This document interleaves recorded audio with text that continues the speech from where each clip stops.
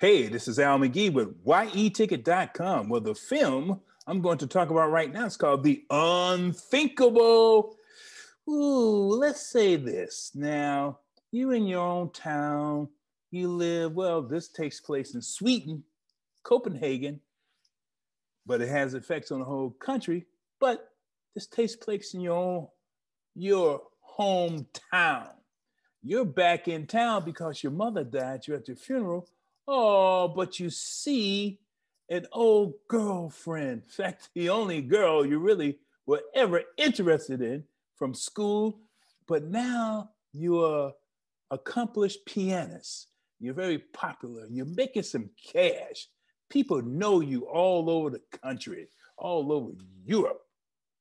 And you're in town.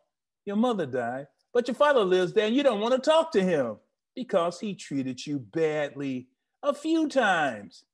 Well, I'm talking about Alex. Alex is the guy who's in this uh, story, which is played by Christoffer Nordenrot, and he has some issues of his own. Now, the unthinkable is about this country, Sweden, and what's happened to them. Man, it is unthinkable. For example, when Alex was back in town, well, people started acting funny and people started dying. Then there were explosions and things like that. Now, his father, his father was uh, a uh, guy who worked at the power plant, the electrical power plant, but you know he dealt with conspiracy theories and things like that. And he, well, was in the power plant when all these things started to happen. But he and Alex did not want to communicate with each other, and they haven't communicated with each other in a long time. But Anna, man, she, whew, she still had thoughts and feelings for Alex. Now, Anna, she stayed in her town. She stayed home.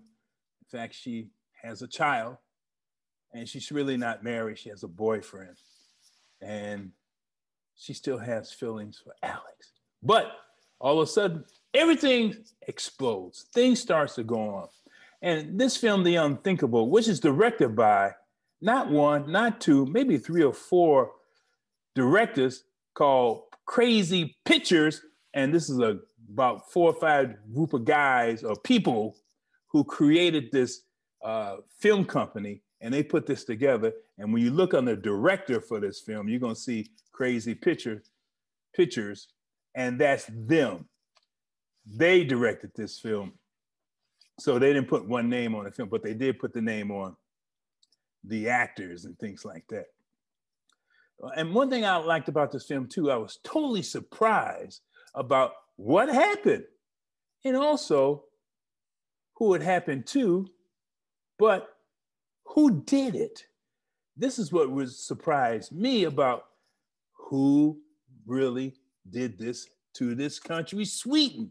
And I love this about this country, Sweden. Now, this all all of this takes place during their midsummer holiday.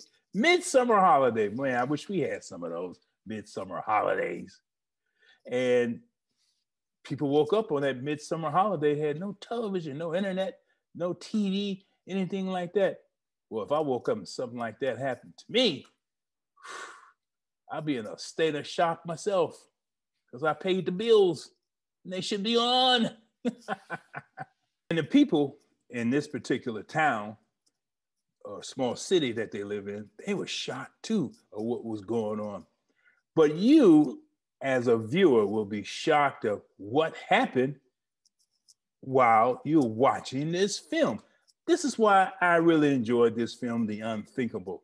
A lot did happen that I did not expect to happen. I really didn't.